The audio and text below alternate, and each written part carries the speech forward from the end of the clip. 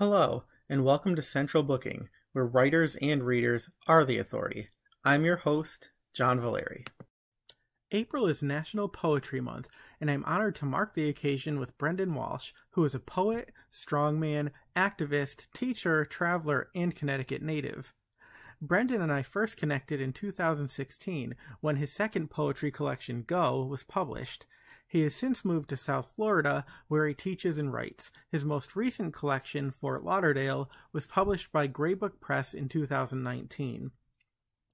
Fellow poet Johnny Masulowicz, and forgive me if I mangled that, but he says he welcomes any and all pronunciations, noted, This collection, so short yet so pithful and tight, is nothing short of a hilarious pie in the face, but only if that pie has a piece of rusty nail studded driftwood hidden underneath the crust.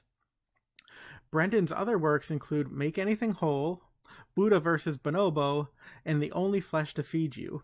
Additionally, his poems appear regularly in literary journals including Rattle, Glass Poetry, Indianapolis Review, American Literary Review, and the Baltimore Review.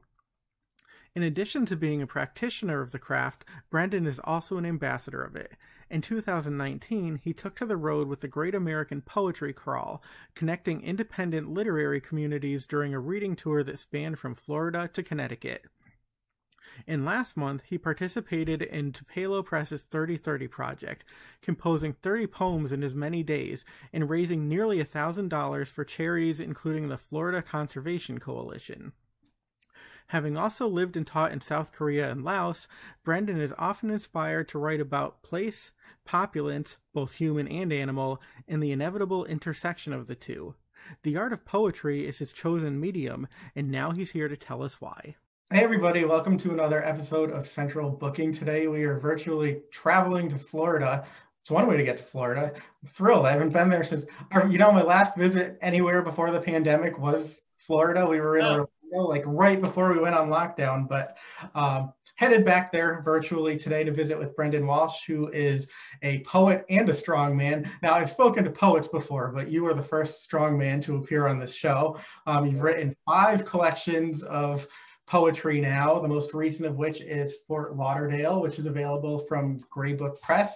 So, welcome to the show.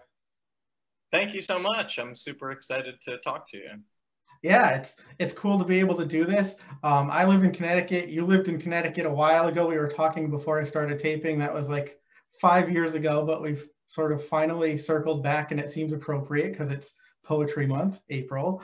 Um, and you are the poet that I know the most, most likely. Um, my wife told me that I should start by asking her. I was like, "He's a poet," and she said, "Well, when did he know it?" Um, but I, I'm just going to say, you know, of all the creative or writing outlets that there are in the world, you've taken to poetry, or maybe poetry's taken to you, and I'm wondering why you think that is, um, and what you recall, sort of, of your first awareness of the craft. Uh, so I do distinctly remember. I don't know if I knew it but I do distinctly remember a, a second grade English, I guess it was a second grade class at Pine Grove Elementary School in Avon, Connecticut, where I grew up. And my second grade teacher, Mrs. Lynn, assigned us on that. Remember that big, huge lined uh, paper oh, that yes. we would write on in elementary school to write a poem about spring like the season because it was spring and we know spring in Connecticut like right now is like the most exciting time. It really is. Winter's almost over, and uh, I I just remember being so joyful at the idea that I could like try and describe the beauty of spring. Whatever like in my elementary school kid mind like I was like, "Oh my god, I'm going to write about like flowers and birds and stuff." And uh I, that like I do really remember that moment because I since then, since second grade, I've always been interested in in sounds and language, in the way that words sound and the rhythm of of the ways that we speak, all of that stuff. And uh, throughout like high school, I was always writing just kind of vague stuff, standard high school stuff, uh, writing my poems on paper and then stashing them away in a desk and um, yeah, in, in college, I became very serious about it after I took a, a class called Rebel Poets with a wonderful poet named Carol Frost.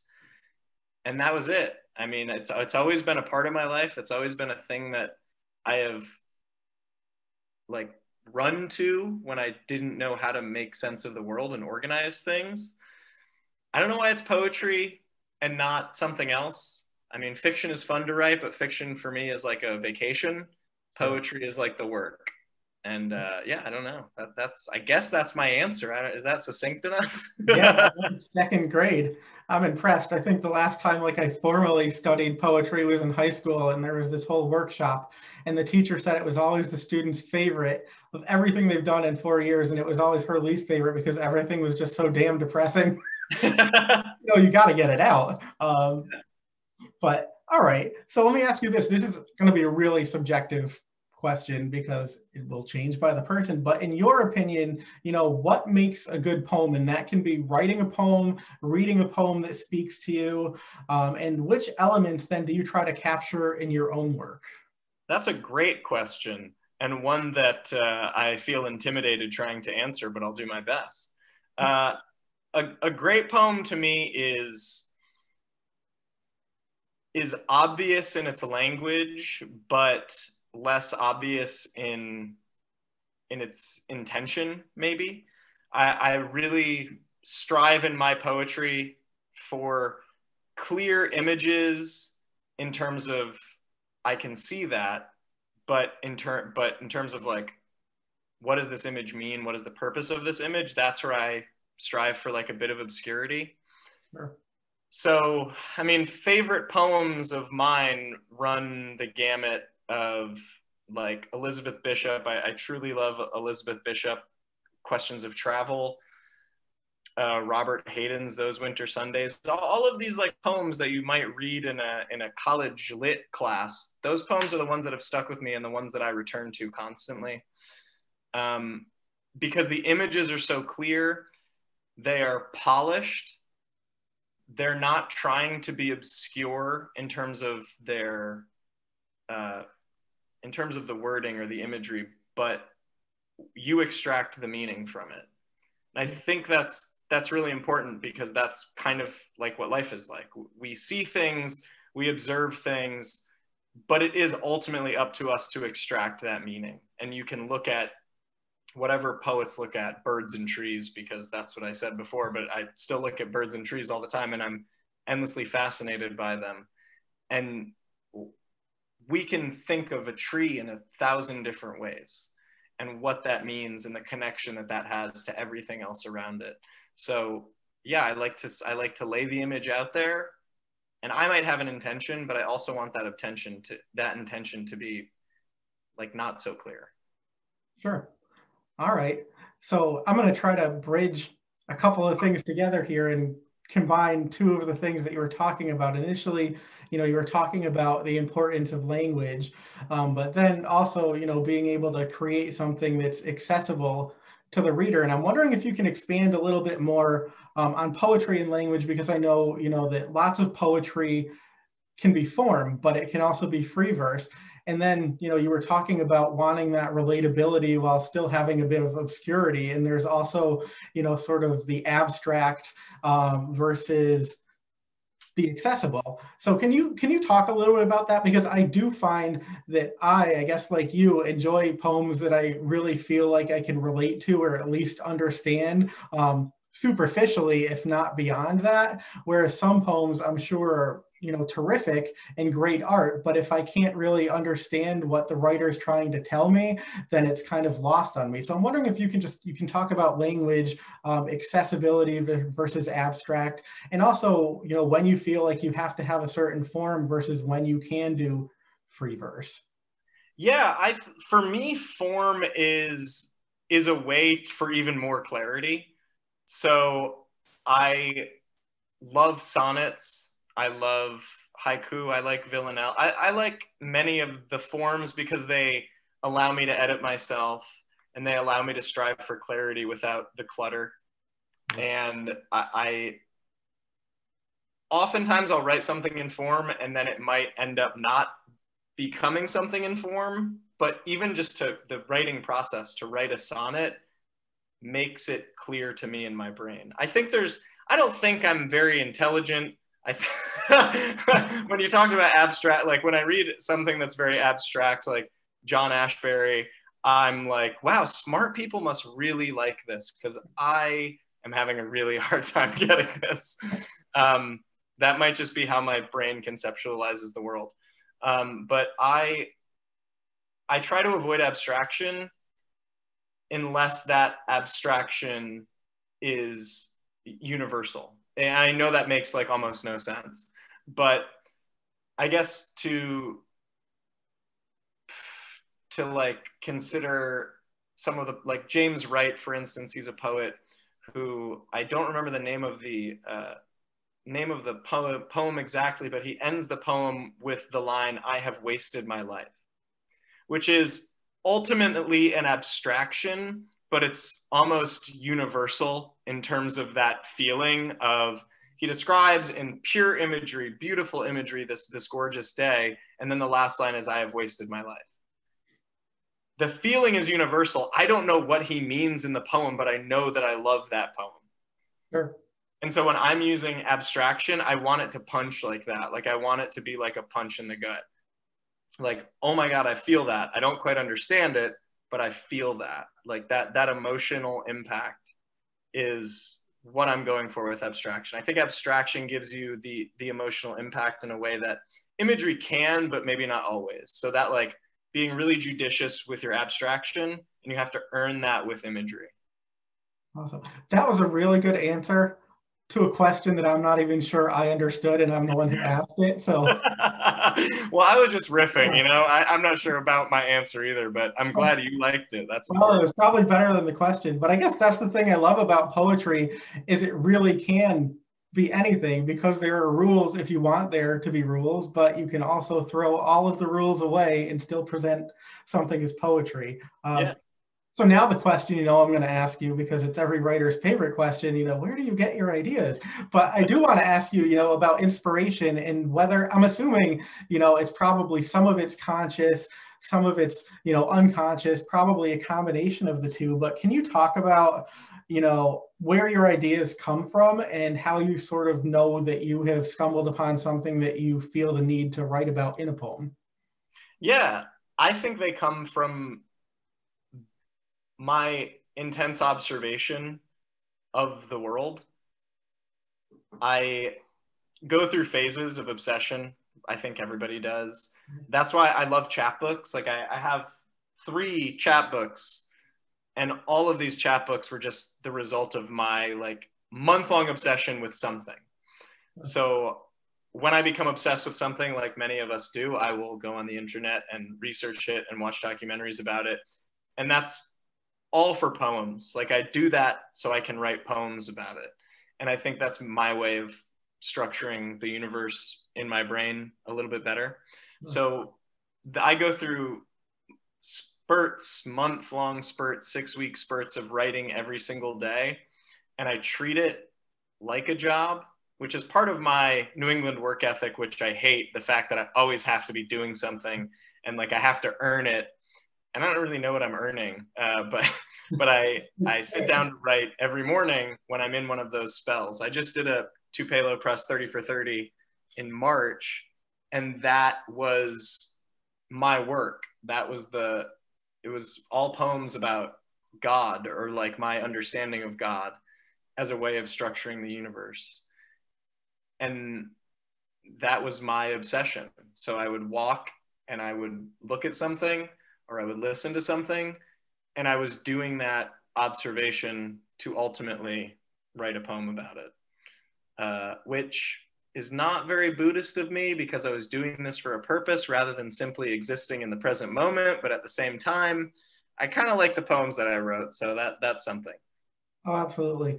I can relate to the obsessive personality. I have a lot of obsessions. They tend to be, you know, longer in duration than a month.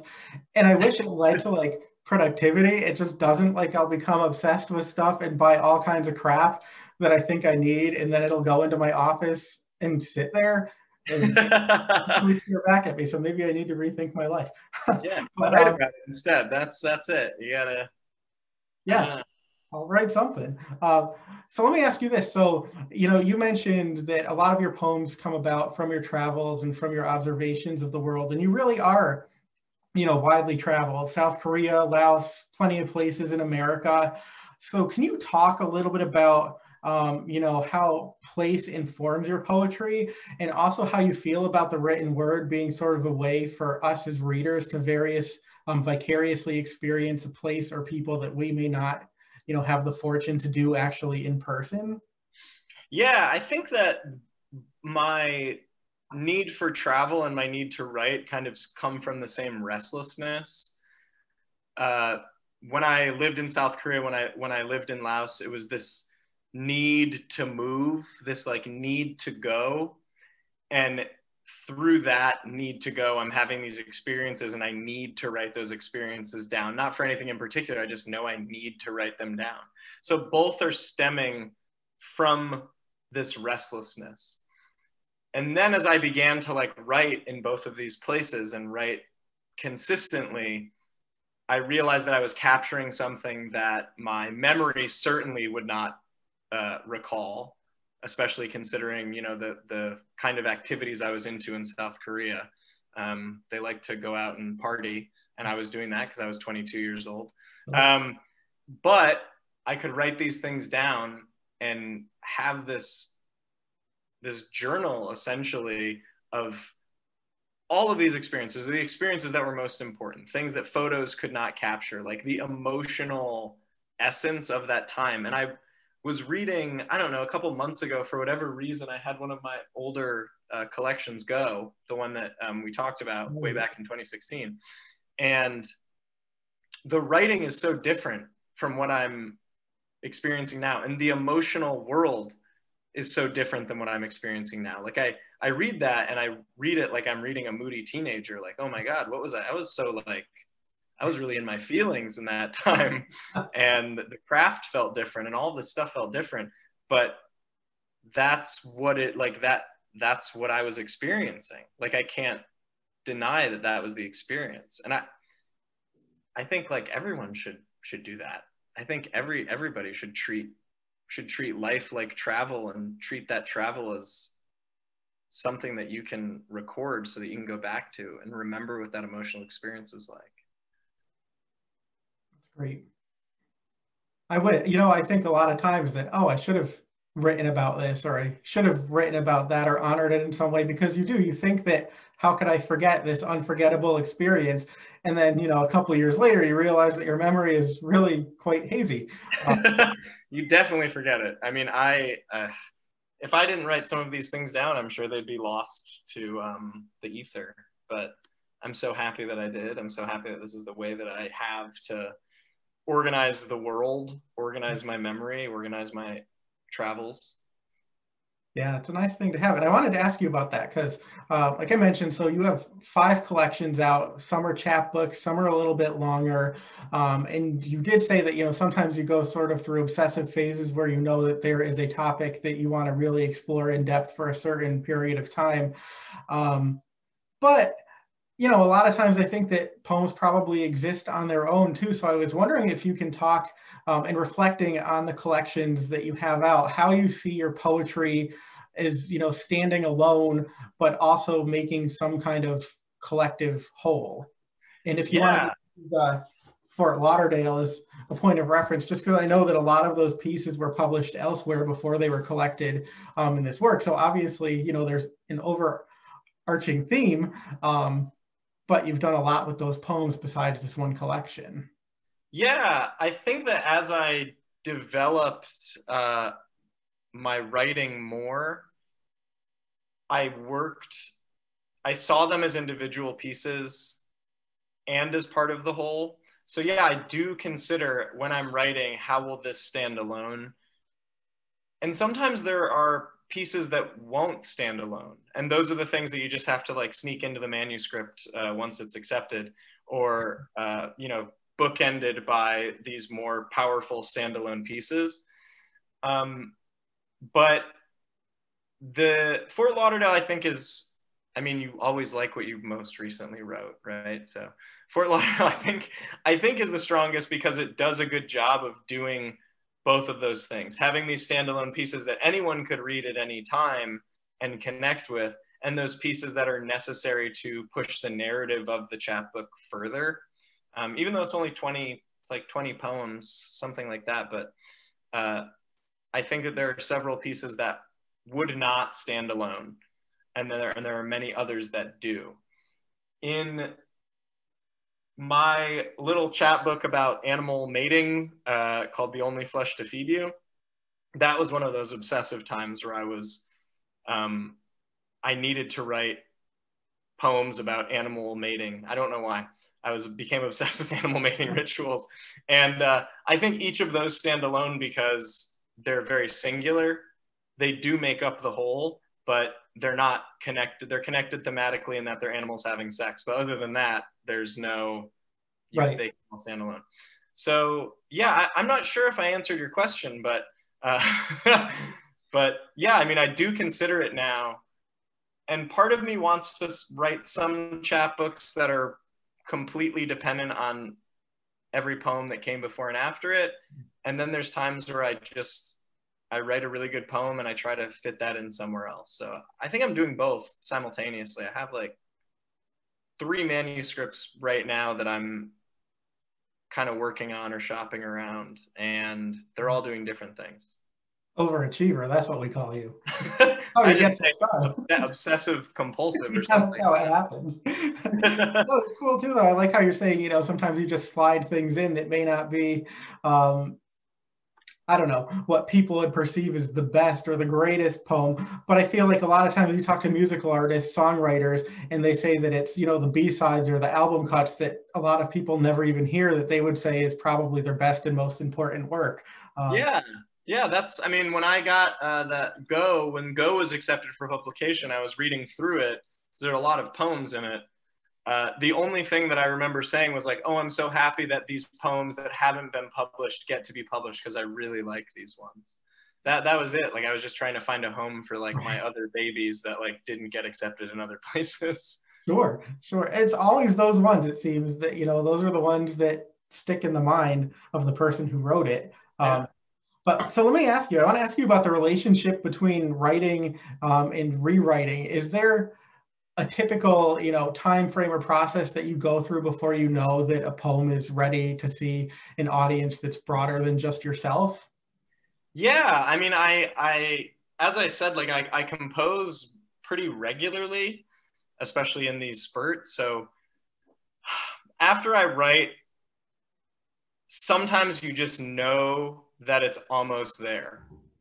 And then other times it sits for a week and I'll go back to it or I'll look at it every morning or every night because I know that, you know, we're, we're getting there, but it's not quite there. And other times it just seems to work and it just requires um, some reading. I read aloud all of the time. So like reading these things aloud makes everything so much clearer, especially poems, because poems, like if, if something is out of place, it's going to be obvious when you say it out loud. Um, so the, the things that are how do I know if it's ready is just kind of I've read a lot. I think that's it. I just I have the ear and eye for it now that I know like okay, this is what I want to sound like.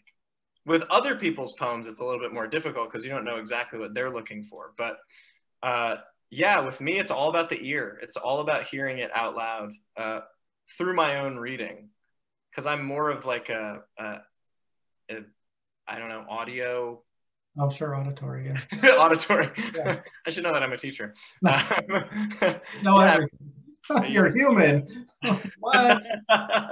yeah, I'm an auditory uh, guy with poetry. Like, I need to hear it. I need to hear the music of it. And sometimes you just write and you're like, wow, that hits. Like, that's what it is. That's exactly what I'm trying to do. Yeah. It's rare. It's rare, but like it happens. And when it happens, that's a great feeling other times I'm reading it every day out loud, cutting stuff out. I love to cut out like big chunks. I love to kill stuff uh, in my poems because it just feels like cleaning out sure. like a dirty house, like getting rid of all that clutter. Um, and people are afraid to do that, but when you do it, it feels good and it feels clean, and that's what I'm looking for. It's great. And so I wanted to um, you know, sort of elaborate on sharing your work because I know that you do a lot of readings and it's almost in a way like performance art. And I wanted to ask you about that. You know, one, allowing yourself sort of to be comfortably vulnerable in front of people when so much is created in isolation. Uh, and then also performance just really being an aspect of a, of a poetry reading, if you wouldn't mind talking about that. Yeah, I love reading poems. Like I love performing. I was really into acting as a kid. I was like a very gregarious drama kid. And I I always loved performing. I didn't really like acting as much as I liked performing. So poetry allowed me to to sort of inhabit the poem in a way that maybe I I was unable to inhabit characters. Um, so it, it's sort of like that. For me, it's really cathartic. I, I love to read poems. I'm, you know, known for crying in front of audiences. Uh, I definitely do that. I've done that multiple times in front of like absolute strangers and people that are close to me because that's like actually what I'm seeking. I, I don't mean to cry, but I, when it happens, that feels like, oh, that's why I wrote this poem because I felt something so strongly that I wrote it down and I crafted it and I tried to make it something uh, that would like commemorate this feeling, whatever this feeling is. Um, so in terms of like when it's composed privately, how to make it public. Sometimes I have written things that I'm like, I can't share this with anyone. Uh, the, the things that I choose to read are things that that have like deep emotional impact and might be quite personal but I've also gone through the process of like thinking about, okay, in reading this, what am I trying to accomplish? Like, is this for an audience or is this something I wrote because I needed to write? So I, I definitely still, I filter it. And I think that if people want to read in front of, in front of others, that they should acknowledge that an audience changes the game because it's not only your poem. If you read it to an audience, it's the audience's poem too, assuming that they connect with it. So yeah, you have to be careful. Sure. And I think that's always, you know, interesting too in talking to creatives who say, you know, once it leaves you and finds an audience, it's it's whatever, you know, they see, whatever they need it to be, whatever they want it to be, and it sort of takes on a life of its own, which is just, you know, interesting because a lot of times you have an idea of what you're trying to convey when you write it and somebody else can have a completely different um, interpretation. But I think that's kind of the fun of it too, right? It is, yeah. I mean, I think it's amazing. I, I think it's like so cool. It's so cool. I mean, humans have amazing tools at our disposal. Clearly, language is our most useful and horrifying mm-hmm. and just like godlike tool. And so this this ability that we have as communicators and not just like writers, like anybody to to shape reality in someone's mind through the reality that you've shaped in your own mind is like is baffling. It's baffling that we get to do this. Yeah, absolutely. And it's really cool, and I love that the work you know lives on far after uh, we're gone. Um, oh. I wanted to ask you. So obviously, you know, you are a practitioner of the craft, but I would also say you're sort of an ambassador of it because you know you have taken to the road with poetry in the past. You do a lot to bring um, your poetry to other people and then also to bring people to poetry. So i was wondering you know if you can talk about that. Maybe you know your great american poetry crawl that you did in 2019 um, or the fundraise the fundraising campaign you actually already mentioned that you did with uh, Tupelo Press a couple of times in the past. Yeah, I think it's super exciting to to like connect with people who kind of don't really know how they feel about poetry. That's that's like the audience that i want. I, I of course i love poetry lovers and other poets. Those are the people that you're most likely going to interact with at a poetry reading. But the fact that i have such a disparate group of people in my life who maybe aren't so sure about poetry who haven't connected with it to know that i've connected with them is really exciting I think to use the word ambassador is incredibly generous. I'm, I, uh, you know, I try, but I do think it, ha- it has worked to some extent, and it's really strange to see. To use the example of you mentioned like strongman, some like jockey's strongman kind of guy come up to me after a reading and be like, yeah, that, that really like, that hit me, that poem that you read, like is first of all, absurd and beautiful and like adorable that um, people are willing to be vulnerable. And I think part of an ambassadorship is vulnerability and putting yourself out there. I'm lucky that I've been able to do this. I think it's like an ex, uh, an extension of my privilege that I have been able to do things like the Great American Poetry Crawl to have like so many people support me and to have so many people donate to my Tupelo Press campaign. I view that as like a privilege. I view that as like I have amazing people who read my work and who are friends with me and, and my family. Uh, yeah, I, I I don't know if I can take any credit for it. I just think that there are some amazing people that I happen to have connected with in my life. Oh, that's pretty awesome. Um, and I wanted to ask you too, you know, the Tupelo Press fundraiser, obviously, uh, you know, you did it for a great cause, but it's basically, you know, you have a month and you have a poem every day for that month. And so, you know, before I was asking you how long you sit with a poem, but obviously when you do something like that, um, it's much more immediate and immersive, do you find that it's more liberating to write in that way just because you can't sit with something for an extended period of time? Yeah, I do. I think that uh, clock is really exciting because I had to submit a poem. I had to send a poem through email every day, and so I got in the habit of doing it at, I mean, I'd write it whatever five in the morning and have the poem out by by six in the morning, and it was very liberating because it's not about oh i'll look at this later or like is this worthy of publication? I know that it's going to be read. I know that people are going to have their eyes on it. So yeah i mean in some ways you think maybe i want to take fewer risks and then in other ways you think well like what does this risk really mean like what am i actually risking this is a poem it's not like I'm I don't have my finger on any sort of like button. Like it's just I'm just writing a poem. So yeah, it was liberating. I, I really loved it. I it's one of those things that I immediately thought that I wanted to do again, but um, I'm gonna take a step back for a second and work with what I wrote just to like see what I have. But I'm definitely I will definitely do it again, and I would encourage anyone who has the opportunity to do it. Awesome. And I wanted to ask you too. You know, you mentioned that sometimes other strong men show up at your poetry performances. um, and you know, people who know you or know you through social media know that you do all kinds of really cool stuff. Like you can basically, you could probably lift me over your head on a finger, spin me around, and toss me half the, the world. Um, talents I will never have. But I wanted to ask you what you feel about the relationship, sort of between physical health um, and emotional health. And if you find that even though they seem to be sort of disparate disciplines, that you're writing and what you do um, more physically actively, if there's a relationship between the two.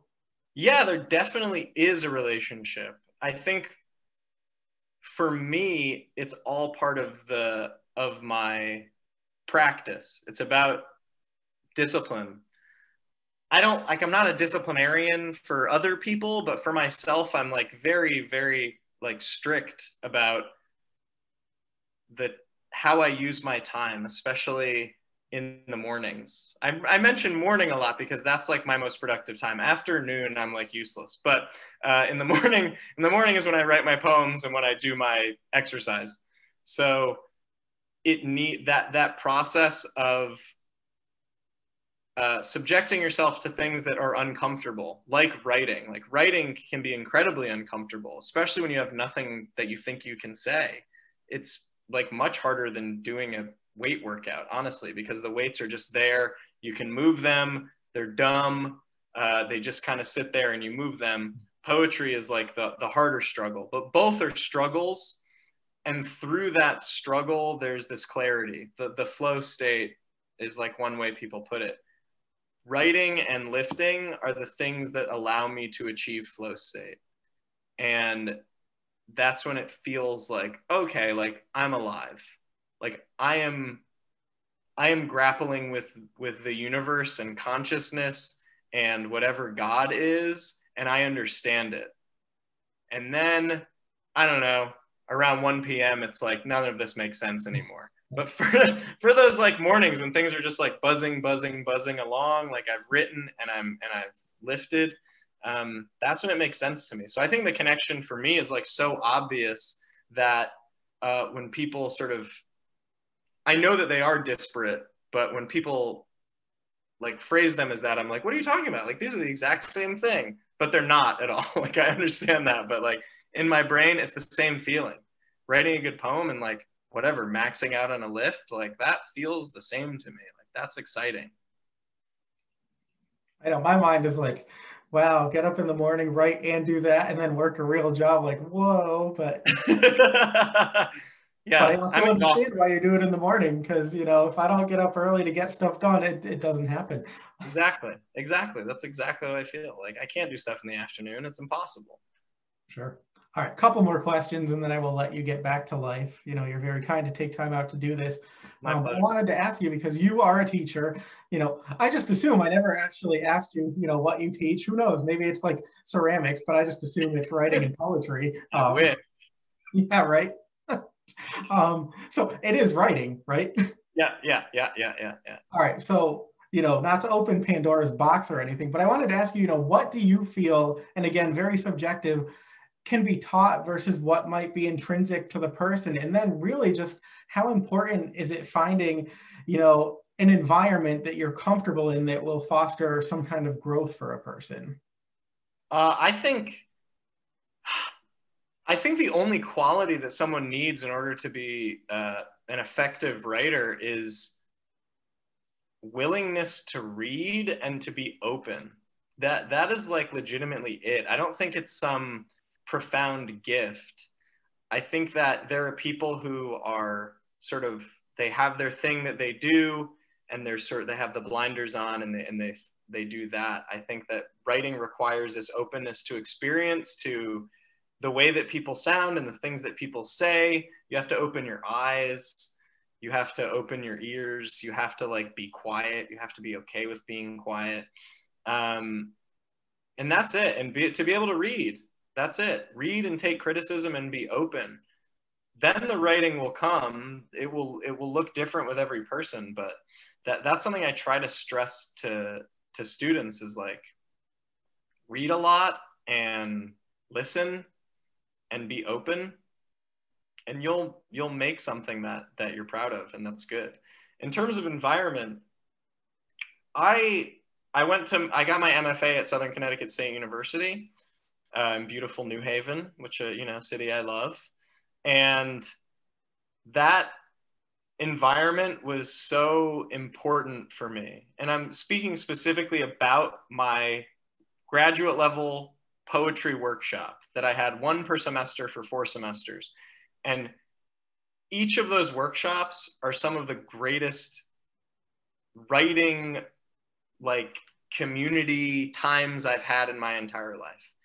I just remember like reading and laughing so much, like laughing to the point where I couldn't breathe anymore and just feeling like so so free and and and that's what tied me to continuing on in this career, whatever you know we can call a poetry career. Uh, so that community was important, and that's a community that like I'm I'm still seeking that community afterwards. Like it was important, but I haven't found something like it. And if I could find that in my right now life, that would be a game changer because I think community and environment are incredibly important. My guess is you're probably creating it for other people, you know? I hope so. I, I, I hope. I also be... love that you talk about the importance of reading because I always find it astounding, you know, um, people who say they want to write and then you say, well, what do you read? And they say, I don't. And it's like, oh. Oh yeah, so you're not gonna be writing very well. That's it. uh, all right, couple more.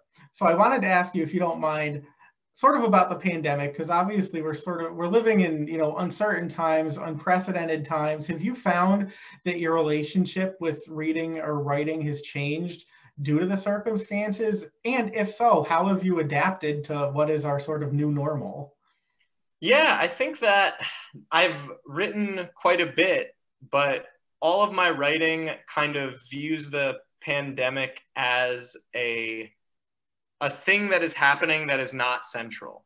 it's just a thing in the background. And that background might be really noisy, but it's not the thing itself. So a lot of my pandemic poems are about loneliness because I felt a ton of loneliness, sort of living alone, being out of the classroom for that whole uh, first, what was it, March to like March to July was just like, oh my God, like I felt so isolated. But it also gave me time because I wasn't going to campus to walk outside every morning around like sunrise.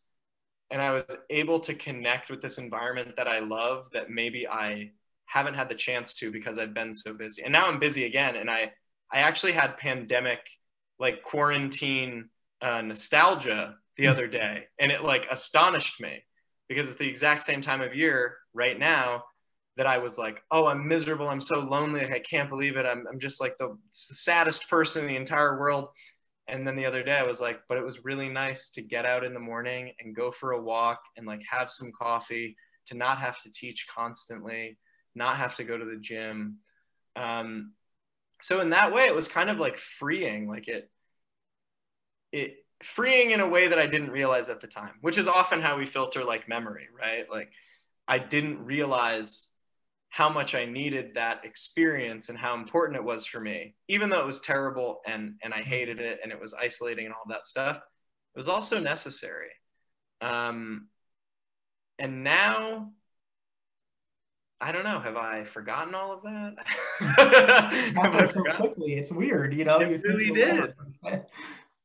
We're 13 months in now right. since the since the like the day of the of the quarantine, and um, yeah, I I can't believe it has been a year, and I think so much great stuff has happened with my writing and uh, and my reading and the things that I read and how I read and how I write. All that stuff has been great, but this year has also been like a crazy blur.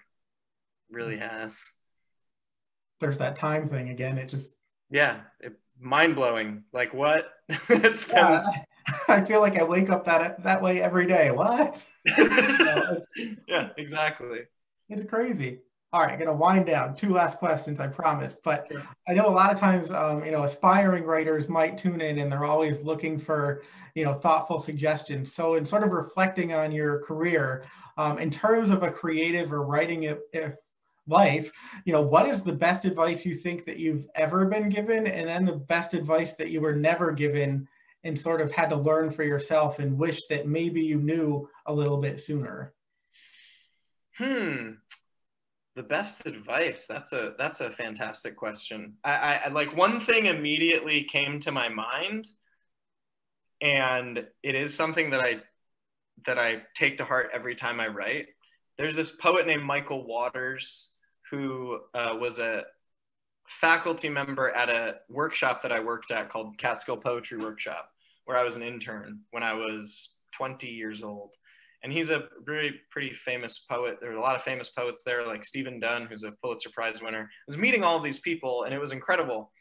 And at one workshop, Michael Waters was talking about uh, a poem. One of my other, one of the other young people there, and he said, "Break their fucking hearts." and in my writing like i take that to heart every time i write something. It doesn't mean that the poem can't be like funny and can't have like a lighthearted message but it has to it has to go for the heart. Like it has to go for emotion. Uh, a poem can't live in sort of like lim- in my opinion it cannot live in liminal space. Like it has to break your fucking heart. And if it doesn't then i then in terms of like what i write like it has not succeeded like i want I want it to feel like that.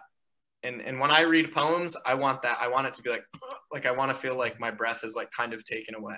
So that advice for for writing to to linger on that emotion and to like not be scared to go for the gut punch because that's that's part of why we read.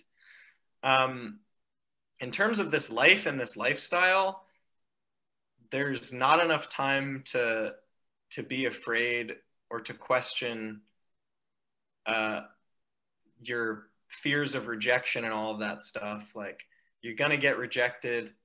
It will happen so much for so long. And then all of a sudden, you won't be rejected, or you'll get a nice rejection letter. And then you realize that you're on the right track and just get used to it. Like, get used to it. I still get rejections all the time. Um, but I get fewer now, fewer now than ever before. so that's like that means that I'm moving in the right direction. But no fear, like you can't you can't be afraid of this. It's it's low stakes. I know it doesn't feel like it's it's low stakes. It feels like it's really high stakes because you're like, that's my heart that I'm giving to you, and you're telling me it's not good enough. But mm-hmm. like, it's a poem or it's a story. Yes, it's your heart, but like, it's also a work in progress. Like your heart, your heart's a work in progress too. So like, don't be afraid. That's it excellent advice because like we were talking about that idea of time you know it passes so quickly and then you look back and you realize how trivial you know some of these things that were holding you back really were um, yeah well, that's great advice. And of course, I have to ask you to wrap things up. I always like to get a little teaser of what people are working on. Um, I know some people tend to be superstitious and don't want to talk about the things that aren't yet. Uh, so if that's you, that's fine. But you know, you mentioned you have like three other manuscripts that you're sort of shopping around. Um, so I'm wondering if you want to tell us about you know what obsessions have been compelling you to write more recently.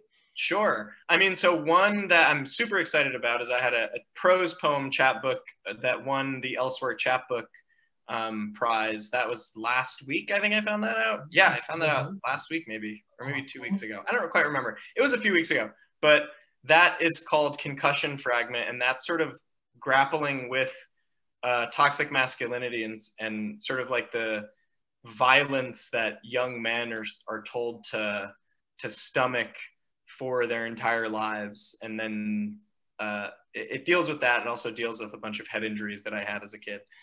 Um, so that that's one. That will be out i don't know when probably next year through elsewhere press. Uh, the other one that i'm really excited about that has not found a home but i hope one day will is called not just yet not just yet. And that is all about death. Uh, which is a great thing to write about if you're a poet because that is the obsession that is the constant obsession. Of course. Um, and it's it, it's about i mean I, I, have some poems about like friends that have died um, but but also uh, just my own developing understanding of of death and mortality and, and how that has how that has shifted into something that is not negative anymore um, and yeah, those, those are my two chapbooks right now. I also have all those God poems that I wrote for Tupelo Press. I'm, I'm going to put those together uh, one of these days, hopefully soon, and and see what happens with that, and see what I can can extract from all those poems. I got I have 30, so that's something. That's a chapbook right there. Oh yeah, totally. Most excellent. See, look how quickly it happens. So people should sign up for that challenge, and then they have, yeah. you know, no no option not to produce. exactly. 30, 30 poems. It's like that's more than a lot of people write in in several years. So to have it done in a month and have something to work with, have that clay to shape into whatever is, is awesome. See, you do shape clay. yeah, I, I would. I, I had a student who was taking a ceramics class tell me he was going to ceramics and i just felt so this this morning i was like i am so jealous like i wish i could go to ceramics class right now. That sounds so therapeutic and nice. Well there you go. Well brendan walsh thank you so much for taking time out to celebrate poetry month and to sort of look back on your career and your accomplishments. It was really cool getting to catch up with you and i wish you continued success. Thank you so much john. You too. This has been awesome and i really appreciate talking to you. That's it for this episode of central booking Thanks for watching, and be sure to subscribe to our channel so you don't miss a thing.